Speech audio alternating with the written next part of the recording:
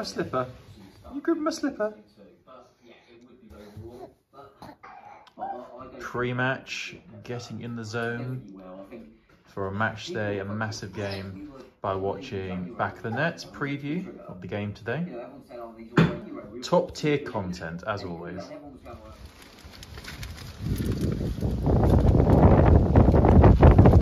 Hello, it's Saturday the 28th of October and it's time for another match day vlog. It's a huge game. It's another biggest game of the season so far for AFCB. It's AFC Bournemouth versus Burnley at Dean Court this afternoon in the Premier League and another massive game. Two teams who really need to win this. Both teams targeting this game as the game to win. We've not won this season. I'm pretty sure. Am I right? You're thinking Burnley haven't won? They won one. They've won one. Yes, they beat Luton, of course they did. So thank you, Big Tel. So I'm Colin. I'm Terry. Sorry, Big Tel, and we're heading over to Dean Court now for another massive game. Uh, thank you for everyone who watched the vlog last week. Um, enjoying the reveling in our pain last week uh, when we lost to Wolves 2-1. Really appreciate you watching. Uh, we've got the team news for this week and some changes as expected. Neto um, after the calamity last week, which you might have seen my breakdown on the vlog last week for that.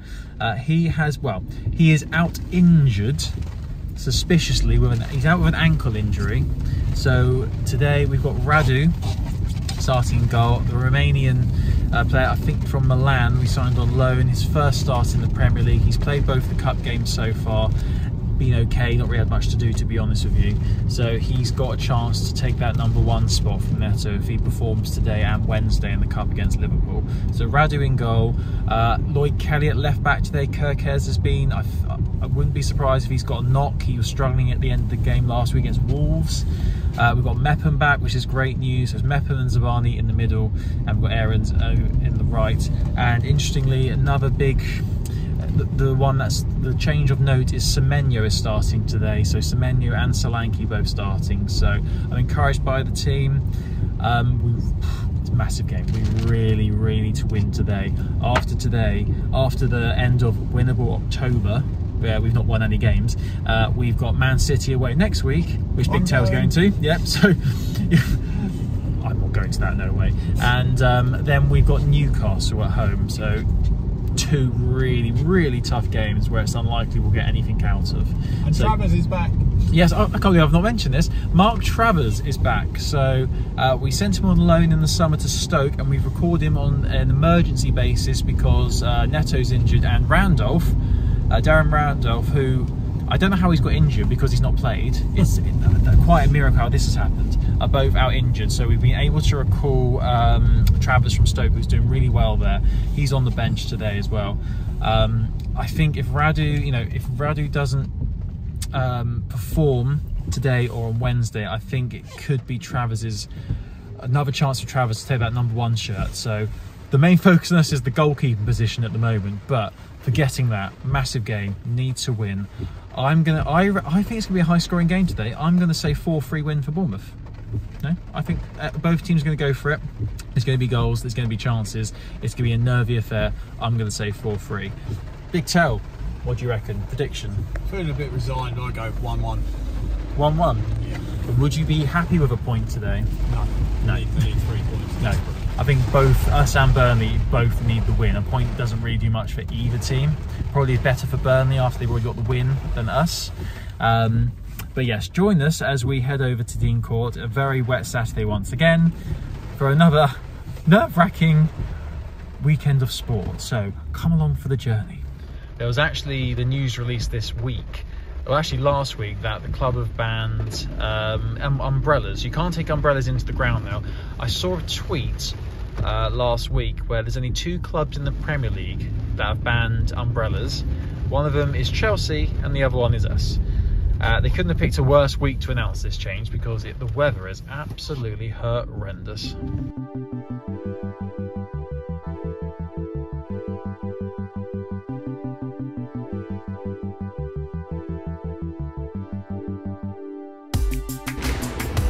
Up the chairs.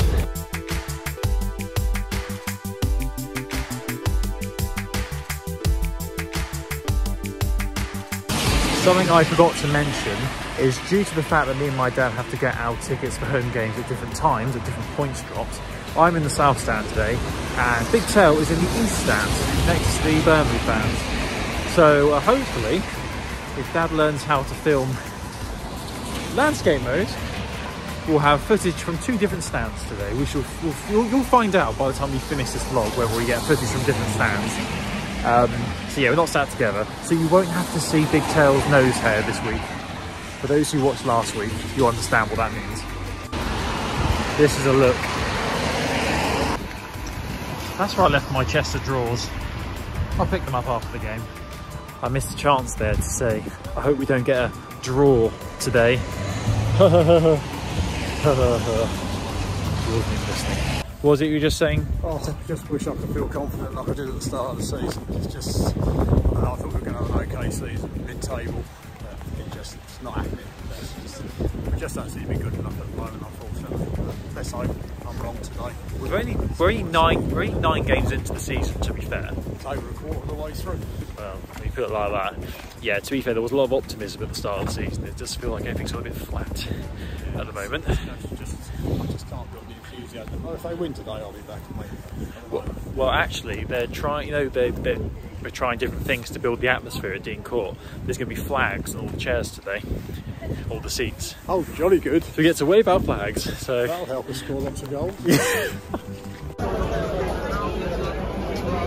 we're back again.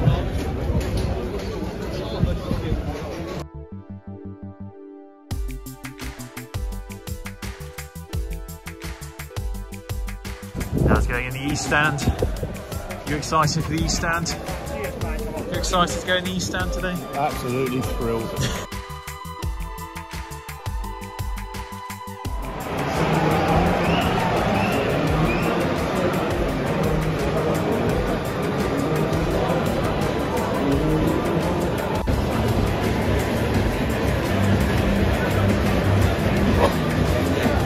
There's Big Tel. France champion. Member of the AFC family who's going to bring the match ball out. Very weird sitting.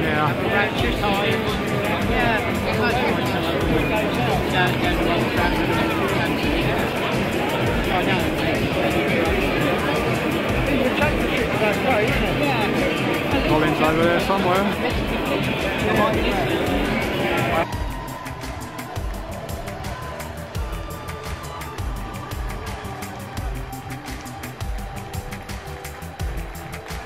Sixteen, Marcus Tavernier.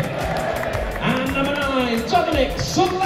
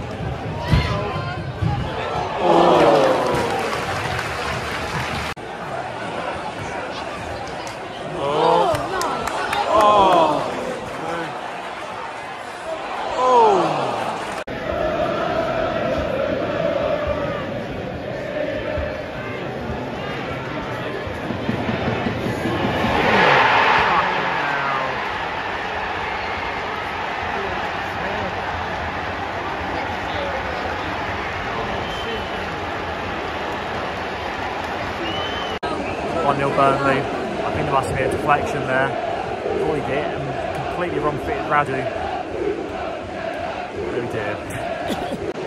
Pretty even so far, to be honest with you. VAR check for offside. Come on. Come on. Handball. Handball. No, oh, no, it's a goal. Oh,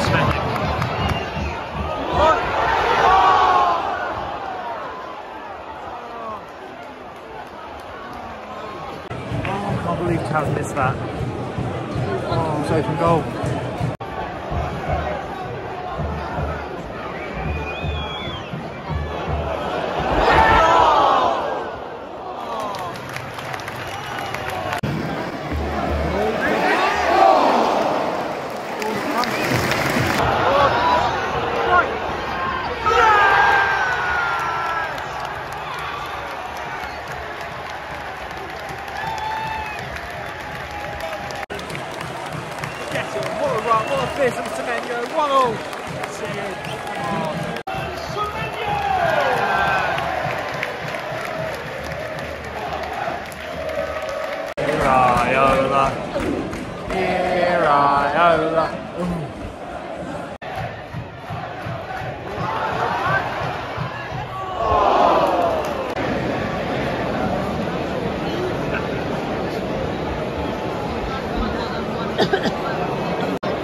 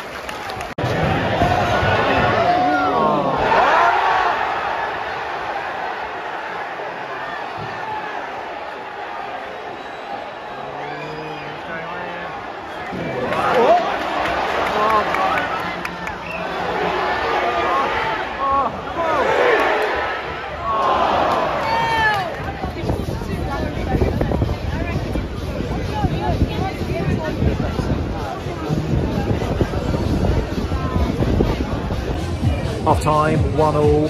We grew into the game. Uh, Semenyo and Scotland really good so far. First 20 minutes or so was a bit iffy. Heads dropped after Burnley's goal, but then soon as the um, soon as got the equaliser, great run from Semenyo. Although I think we've been a better team really since then. Uh, we're growing in confidence. Uh, really hope we can push on in the second half, not let it drop, because the intensity towards the end was good. I'm starting to see more of the high press that Iraola's teams are known for. Um, and all front three were pressing really well towards the end and putting a lot of pressure on their keeper, who's had a bit of a struggle, to be honest with you. So yeah, confident. I'm going to say 2-1. Big goal second half, hold on, get those three points and move on. From the side at half time. Yeah, uh, even game. Keeper's not really been tested either end. But Bournemouth are growing into the game. Certainly the better side for the last 20 minutes. Uh, we'll see how the second half goes. It's interesting watching from the side, makes a nice change. But anyway, let's hope uh, the second half gives us the result we all need. I certainly hope so. I feel they've been playing a bit better this week. Semenyo's been very good, so fingers crossed.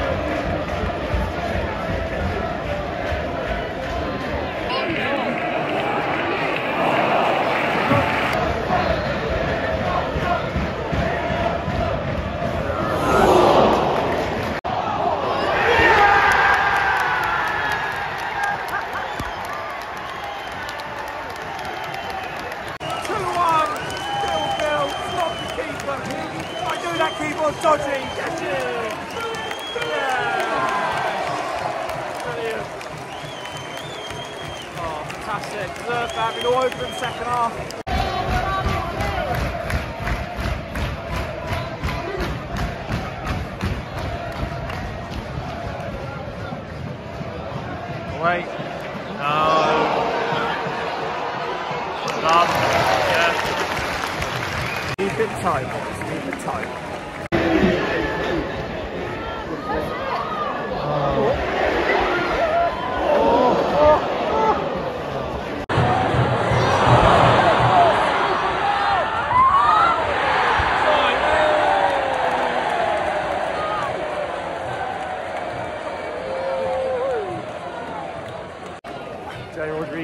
scored, but offside. Hopefully there's no VAR check for this. It did look offside to be fair. Come on. VAR check in progress, possible offside. It must be close, they're taking their time.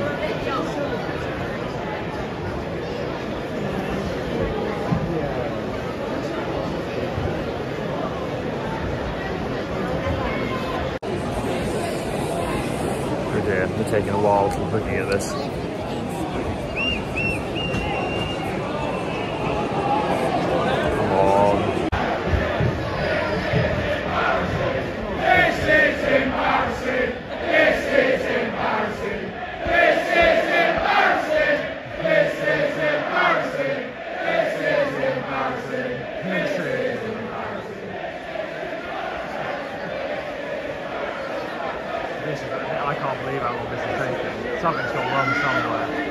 This is insane. Offside, that took about, that was way too long. That was absolutely embarrassing. I can't believe that was like five, six, seven minutes to get that decision. Insane.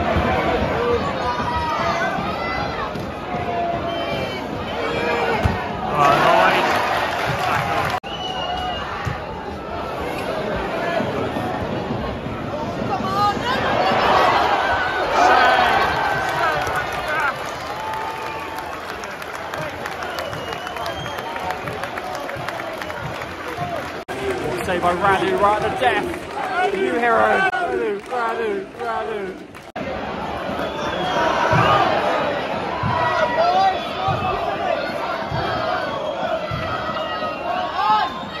No foul, please.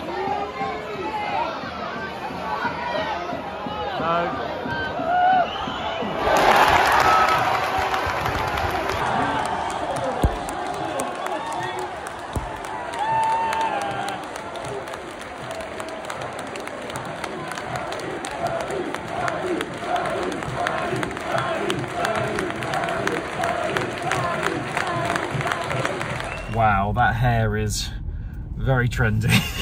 Absolutely soaked. Heavens have opened just as the game finished. So final score, Bournemouth 2, Burnley 1. Finally, Iraola's first win of the season, first league win of the season. Thoroughly deserved. I thought second half we were pretty dominant throughout. Didn't have any clear-cut chances, but we were definitely the better side. Um, I was surprised at how poor Burnley were, to be honest with you. Um, I can see why they're struggling. Um, you know, hopefully they can turn it around, but you know, they don't. Maybe they're low on confidence, but they did look pretty poor. Um, so second half, two one. It was a great goal from Philip Billing, uh, lobbed the keeper. It looked like when he kicked it that it was too. He kicked, it a bit low, but he somehow managed to lob the keeper who flapped it. Um, 2-1 and then after that we did sit back a little bit and at the end there was a VAR check which went on for about five six minutes which was absolutely ridiculous when Jay Rodriguez went through and scored. It looked clearly offside to me and to Big Tel in the East Stand. was at the side. Yeah, so, but yeah, got the win, three points. What a relief. We need that going into the next two games against City and Newcastle. Um, just some end thoughts from me. Uh, I thought Alex Scott looked quality. Some of his um, footwork was absolutely brilliant today. Uh, you can see why we invested a lot of money in him. Um, I thought Philip Billing was great as well. Aarons was fantastic. Uh, Kelly, probably man of the match to be fair. He was really, really good. Radu made a really good save at the end. He, Radu didn't have much to do, but everything he did do, he did really well. He made a good save right at the death. Um, and his distribution and his handling was really good as well. So really happy with how he performed as well, which is really good with Neto injured. So yes, confident. Um, and now we can relax a little bit. We've got the cup game against Liverpool on Wednesday. I assume I imagine there'll be wholesale changes for that. Then City next week. I'm not going to City away, but Big Tel is. So uh, maybe there'll be a vlog next week. We'll see. Before we go, any final thoughts, Big Tel, on that game? Just totally relieved to get a win. I think that's what the, the club needed, let alone the team. And I think uh, hopefully we can kick on from there. I don't, I'm not, I don't think we'll get much out of the next two games, but that doesn't matter. We're on the way, and um, we got some points on the board. So, uh, so it's just, yeah, it's, it's a good result, and um, we were the better side today, which is lovely to say. To say we're the better side makes all the difference. So yeah, I'm pleased about that. And out of the bottom three. Yeah. for now out of the bottom three which is really great to see so thank you so much for watching uh, if you like this video if you like football vlogs Bournemouth vlogs Premier League vlogs footballing vlogs of any kind why not subscribe and like this video it really helps my channel out really appreciate it uh, we'll see you in the next one we may see a video with Big Tel at City next week we'll see but we'll definitely be back in two weeks time for Newcastle at home another big game the return of Eddie Howe once again to the Vitality. Thanks so much for watching. Have a great evening. Bye bye.